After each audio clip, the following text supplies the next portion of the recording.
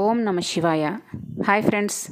కార్తీక మాసంలో మనం ఇరవై ఏడవ రోజుకి చేరుకున్నాము. మరి ఈరోజు ఎంతో విశేషమైన ఏకాదశి. కార్తీక మాసంలో వచ్చే ఏ ఏకాదశి అయినా ఎంతో విశిష్టమైనది. ఎవరైతే కార్తీక మాసంలో ముందు వచ్చే కార్తీక శుద్ధ ఏకాదశిని చేసుకోలేదో వారు ఈ ఏకాదశిని అంటే కార్తీక బహుళ ఏకాదశిని చేసుకోవచ్చు.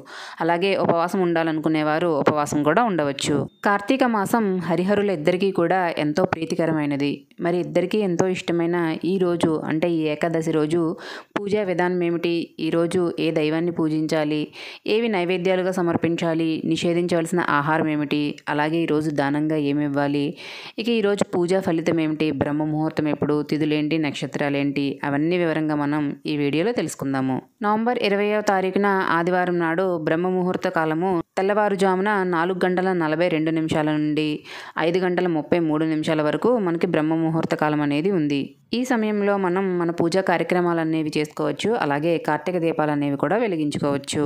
ఇక కార్తీక మాసంలో ఇరవై ఏడవ రోజు మనకి కార్తీక బహుళ ఏకాదశి వచ్చింది. ఇది ఆదివారం నాడు నవంబర్ ఇరవైవ తారీఖున వచ్చింది. ఏకాదశి తిథి మనకి నవంబర్ పంతొమ్మిదవ తారీఖున ఉదయం పది గంటల ఇరవై నిమిషాల నుండి నవంబర్ ఇరవైవ తారీఖున ఉదయం పది గంటల నలభై ఒక్క నిమిషాల వరకు మనకి ఏకాదశి తిథి అనేది ఉంది. అంటే ఆదివారం మనకి పది నలభై ఒక్క నిమిషాల వరకు ఏకాదశి తిథి అనేది ఉంది. సూర్యోదయానికి ఏ తిథి ఉంటుందో ఆ మనం రోజంతా అనుసరిస్తాము. దాని ప్రకారం మనకి ఆదివారం అనేది ఏకాదశి వచ్చింది. ఉపవాసం ఉండాలనుకునేవారు ఈరోజు ఉపవాసం ఉండవచ్చు. ఈరోజు నక్షత్రం హస్త నక్షత్రం. ఇక ఈ రోజున మనం పులుపు వస్తువులు అనేవి నిషేధించాలి. అలాగే ఉసిరిని కూడా ఈరోజు నిషేధించాలి. ఎవరైతే ఈరోజు ఉపవాసం ఉంటున్నారో వారు నూనెను కూడా నిషేధించాలి.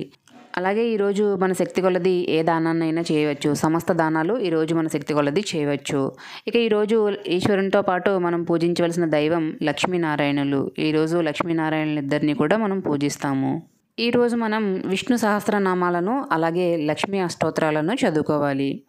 ఇక ఎవరైతే కార్తీక పౌర్ణమికి మూడు వందల అరవై ఐదు రోజుల ఒత్తులను వెలిగించలేదో వారు ఈ ఏకాదశికి మూడు వందల అరవై ఐదు రోజుల ఒత్తులను వెలిగించుకోవచ్చు. అలాగే ద్వాదశి నాడు ఇంకా కార్తీక మాసం ఆఖరి రోజు అలాగే కార్తీక అమావాస్య నాడు కూడా ఈ మూడు వందల అరవై ఐదు రోజుల ఒత్తులు అనేవి వెలిగించుకోవచ్చు. అలాగే ఈరోజు ఉసిరి దీపం పెట్టాలనుకున్న వారు ఉసిరి దీపాలను పెట్టవచ్చు. ఈ రోజు మూడు వందల అరవై ఐదు రోజుల ఒత్తులను వెలిగించాలనుకునేవారు అలాగే ఉసిరి దీపాలు పెట్టాలనుకున్నవారు ఈరోజు విష్ణాలయంలో పెట్టడం అనేది మంచిది. కుదిరిన వారు తప్పకుండా విష్ణాలయంలో పెట్టండి. ఒకవేళ గుడికి వెళ్ళడం సాధ్యం కాకపోతే మన ఇంట్లో తులసి కోట వద్దనైనా సరే పెట్టవచ్చు. ఇక తులసి కోట కూడా ఆనవాయితీ లేని వారు దేవుడి మందిరంలో అయినా సరే పెట్టుకోవచ్చు. ఈరోజు మనం ఉసిరి దీపాన్ని పెట్టుకొని ఉసిరి దీపాన్ని లక్ష్మీదేవిగా భావించి దీపలక్ష్మి నమోస్తుతే అని నమస్కరించుకోవాలి. ఈరోజు రెండు నిలువ ఒత్తులను ఒక గొబ్బ ఒత్తిని అంటే ఒక పువ్వు ఒత్తిని చేసుకుని మూడింటిని కలిపి దీపారాధన చేయడం అనేది మంచిది. అలాగే ఈరోజు విష్ణుమూర్తికి తులసి మాలను అలంకరించడం కానీ లేదంటే తులసితో పూజ చేయడం కానీ ఎంతో శ్రేష్టమైనది. కుదిరిన వారు తప్పకుండా తులసి దళాలతో విష్ణుమూర్తిని పూజించండి. అలాగే జాజి పూలతో కానీ లేదా కలువ పూలతో కానీ ఈరోజు విష్ణుమూర్తిని పూజించడం ఎంతో మంచిది. ఈరోజు హరిహరులని ఇద్దరిని కూడా పూజిస్తాము. ఇక ఈరోజు శివుడిని బిల్వ పత్రాలతో కానీ లేదంటే జిల్లేడు పూలతో కానీ పూజించడం ఎంతో మంచిది. అలాగే బిల్వ పత్రాలతో ఈరోజు శివుణ్ణి అభిషేకిస్తే అన్ని శుభాలు కలుగుతాయి.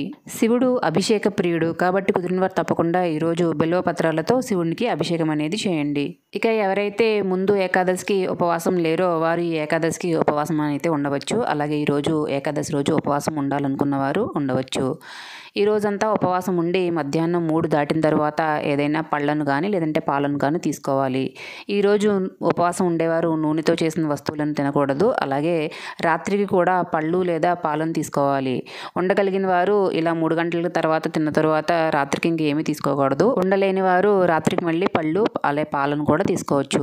అలా ఈరోజు ఉదయం అంతా ఉపవాసం ఉండి మూడు తర్వాత అయితే మనం తినాలి. మూడు తర్వాత పళ్ళు పాలను కానీ లేదంటే గోధుమ రవ్వ కేసరిని కానీ ఇలా నెయ్యితో చేసుకున్న పదార్థాలను కానీ తినవచ్చు. నూనెతో చేసిన పదార్థాలను కానీ అన్నాన్ని కానీ ఈరోజు తినకూడదు. కార్తీక మాసంలో ఏకాదశికి ఏ విధంగా ఉపవాసం ఉండాలి? అలాగే ఉపవాసాన్ని ఎలా విడవాలి? ఆ రోజు పూజా విధానం ఏమిటి? ఇవన్నీ నేను ఏకాదశి వీడియోలో చెప్పాను ఫ్రెండ్స్. తెలియని వారు చూడని వారు ఉంటే ఆ వీడియో ఒకసారి చూడగలరు. వీడియో లింక్స్ డిస్క్రిప్షన్లో ఇస్తాను. అలాగే ఈరోజు శివునికి నైవేద్యంగా పాలను సమర్పించాలి. ఇక విష్ణుమూర్తికి నైవేద్యంగా పరమాన్నాన్ని సమర్పించవచ్చు. లక్ష్మీనారాయణులు ఇద్దరికీ కూడా పరమాన్నాన్ని ఈరోజు నైవేద్యంగా సమర్పించవచ్చు.